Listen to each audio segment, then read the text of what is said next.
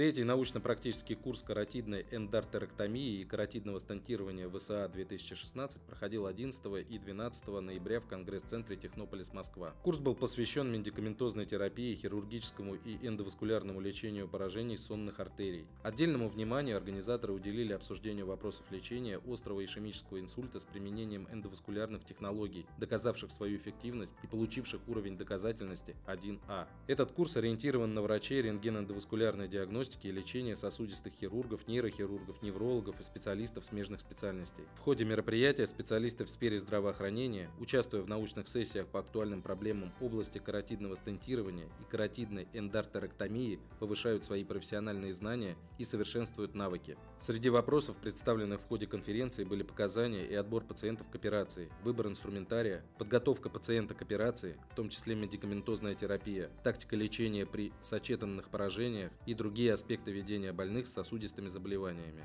В ходе секционных заседаний, параллельно с интерактивным голосованием и онлайн-трансляциями из операционных, прошли дебаты с участием эндоваскулярных специалистов, сосудистых хирургов и неврологов.